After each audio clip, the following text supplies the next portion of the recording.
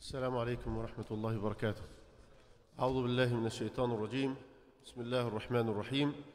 الحمد لله وأشهد أن لا إله إلا الله وحده لا شريك له وأشهد أن محمدا عبده ورسوله. اللهم صل وسلم وزد وبارك عليه وعلى آل بيته الطيبين الطاهرين وعلى أصحابه وأحبابه ومن استنى بسنته واقتفى أثره ودعا بدعوته إلى يوم الدين.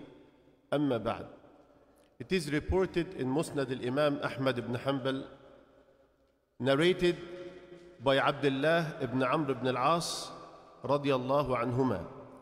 He narrated that Prophet Muhammad sallallahu alayhi wasallam said, الصيام والقرآن يشفعان لصاحبهما يوم القيامة يقول الصيام أي رب منعته الطعام والشهوة فشفعني فيه. ويقول القرآن أي رب منعته النوم بالليل فشفعني فيه قال فيشفعان. So in this hadith, the Prophet عليه الصلاة والسلام say صلى الله عليه وسلم the Prophet عليه الصلاة والسلام is saying that the fasting and the Quran will intercede in the day of judgment to their companions. As-Siyam will say to Allah subhanahu wa ta'ala, Oh Allah, I prevented him from his food and lust, so accept my intercession for him. And the Quran will say, Oh Allah, I prevented him from sleeping during the night, so accept my intercession for him. So uh, the, the Prophet said, Allah will accept their intercession. Their intercession will be accepted. So subhanallah, the hadith is talking about as-siyam and al-Quran. And there is a strong relationship between as-siyam and the Quran. Because Allah subhanahu wa ta'ala revealed al-Quran in the month of the siyam. Right? And Allah subhanahu wa ta'ala revealed the obligation of siyam in the Quran. So there is a, a companionship re- relationship, a, a companion relationship between Al Quran and Al Siyam.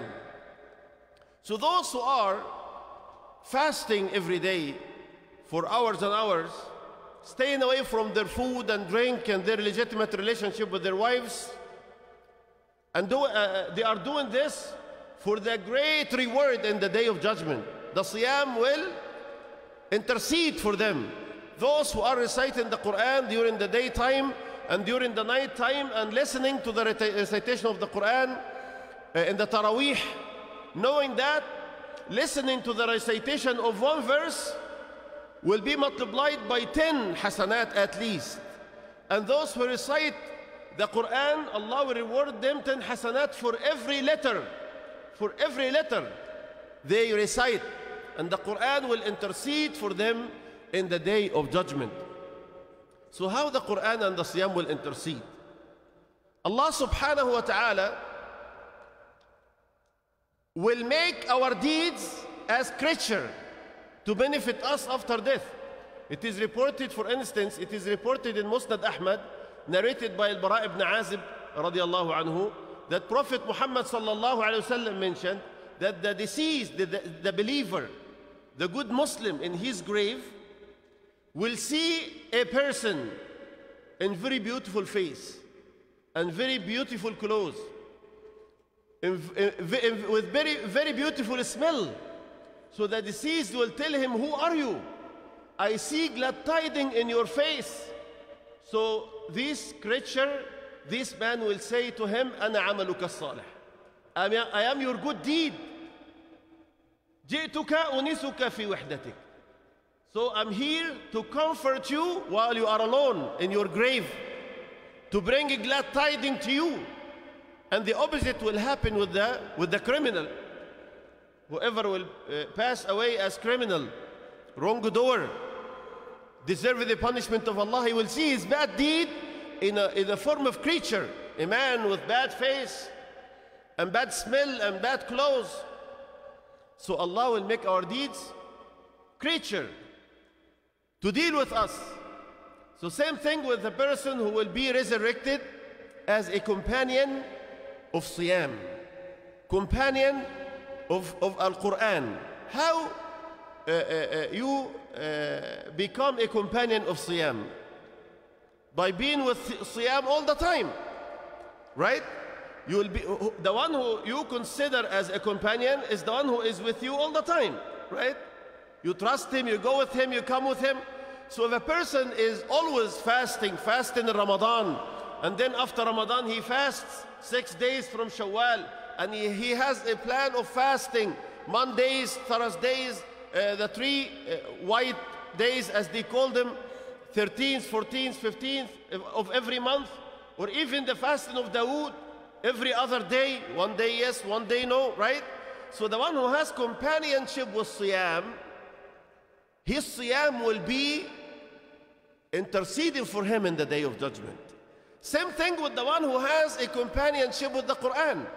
The one who recites the Quran every day, not only Ramadani person, because some people they recite the Quran in Ramadan, and then after Ramadan they return the Quran to the shelf until next Ramadan. So they call these people the Ramadani Muslims. So the night prayer is only in Ramadan. Reciting Quran is only in Ramadan. Fasting is only in Ramadan. After Ramadan, no qiyam, no siyam, no recitation of the Quran, you know. In the day of judgment, the Prophet ﷺ will complain about these people. The, the Prophet will say to Allah subhanahu wa ta'ala, and it is mentioned in the Quran, Ya, ya, ya, ya, ya Rab, إن قوم اتخذوا هذا القرآن مهجورا So this is a complaint from a Rasul, from the messenger of Allah. He will say to Allah subhanahu wa ta'ala, Oh our Lord, my people neglected the Quran. They turned their back to the Quran. So they don't recite the Quran. They don't, they don't reflect upon the meaning of the verses of the Quran. They don't implement the Quran in their life. And they lived like that until they died like that.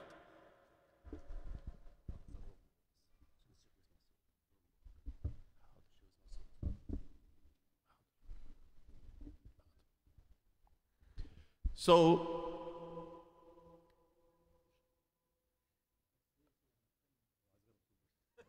أنا مش فاهم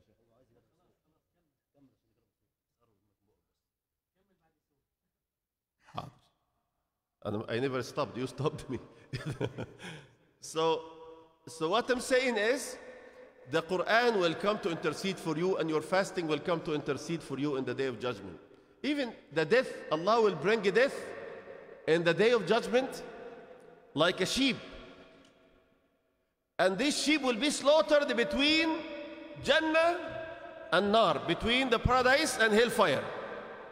And then it will be called, it will be announced to the people of, of hellfire that they will live in it forever and no death after that. And it will be announced to the people of Jannah that they will live in Jannah forever and no one of them will get out after that. No death after that.